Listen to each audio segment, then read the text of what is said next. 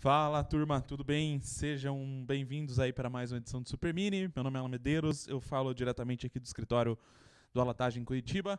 Vamos falar um pouquinho então sobre fãs né, e como tem crescido é, o potencial de gerar conteúdo dos fãs e como esse potencial tem sido cada vez mais decisivo é, nas estratégias de lançamento. Né? Eu estava lendo um relatório de tendências agora e que aponta aí mudanças bem representativas na forma em que os fãs são envolvidos na estratégia de um lançamento. Né? Então, vou fa fa fazer um panorama rápido aqui para a gente buscar contextualizar. Né? E claro que quando a gente pensa em fãs gerando conteúdo em torno de uma música, a gente é, é, é logo pensa ali em duas possibilidades é, é, que são talvez duas das mais latentes, que são criação de playlists né, no Spotify e toda é, essa nova questão de, de Reels, de TikTok, enfim, é, é, mas isso é claro, isso não é o futuro, né? Isso já é parte do nosso presente.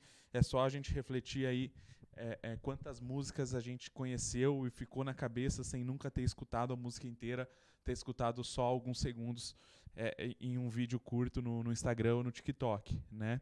Eu acho que teve, tem uma questão crucial aí a forma também como é, é, é, as gravadoras e principalmente as distribuidoras estão olhando para esse público, né? Se você pensar aí tudo que os DJs já passaram nos últimos anos, no começo da pandemia, né, com essa dificuldade de, de, de, de inserção de conteúdo não autoral, né, as músicas em um set, por exemplo, é, é, gerando uma série de strikes e você não conseguindo fazer lives porque as lives estão caindo.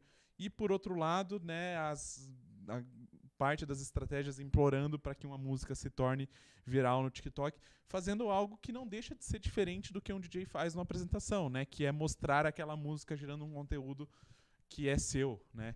Então, assim, é, é, hoje a gente vive aí uma... Um, se por um lado a gente vive aí uma tiktokização da, do cenário musical, né? Isso é um, é um assunto até para a gente falar em editorial mais para frente é, que é esse lance de ter ali é, é, é trechos de uma música super é, moduláveis para que ela possa se transformar em vídeo, numa dança, enfim, isso vai para muito além da música eletrônica, né? talvez até a música eletrônica tenha até uma resistência a isso.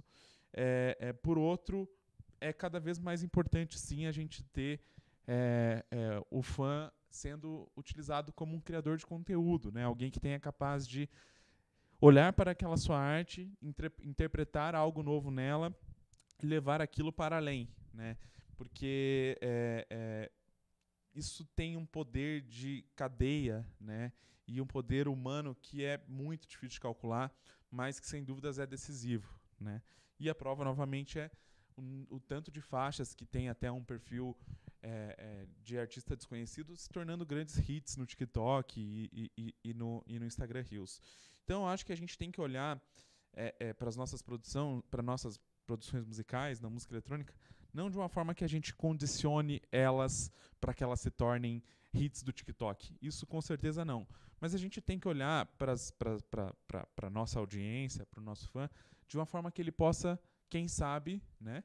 Talvez não na versão original, mas talvez num, num edit, num remix, produzir algo em cima daquilo. Que isso tem um potencial é, é, de alcance muito grande. Né? Sem falar no, no, no, numa questão de, de assimilação de identificação que tem quando alguém produz, seja um vídeo de férias com uma música sua de, de trilha sonora, né? ou até mesmo uma dancinha de TikTok, o quanto que essa validação é importante dentro de nichos e audiências é, é, qualificadas. Certo, turma? Espero que vocês tenham gostado desse vídeo. Deixem aí a opinião de vocês. É sempre um prazer trocar essa ideia com vocês aí nos comentários. E eu volto em breve para outros tópicos a serem levantados aqui no Super Mini. Tá bom, turma? Valeu!